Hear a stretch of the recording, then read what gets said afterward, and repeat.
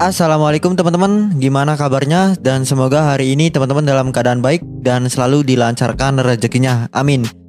Nah pada kesempatan video saya kali ini saya akan berbagi cara top up saldo di Indodax ya teman-teman menggunakan uh, Shopee Pay nanti pembayarannya dan saya akan top up sesuai dengan saldo yang ada di aplikasi Shopee Pay teman-teman.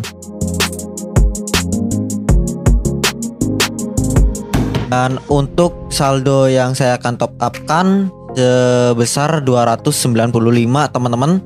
Di sini teman-teman klik bagian fun ya yang tadi lalu masukkan nominal top upnya.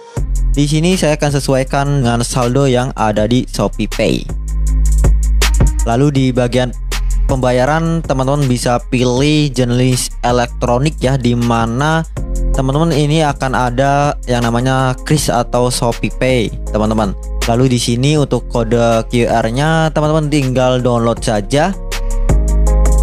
Setelah di-download kita lakukan pembayaran lewat aplikasi Shopee-nya. Kita buka Shopee Pay lalu klik bayar di sini teman-teman klik bagian QR dari Indodex-nya teman-teman dan ini nominal ya. Sesuai yang tadi kita top up Lalu di sini untuk pembayarannya sudah berhasil teman-teman. Lalu kita cek lagi di aplikasi Indodax-nya. Apakah untuk saldo IDR-nya sudah masuk dan ternyata ini sudah masuk ya teman-teman. Ini masih saldo akun.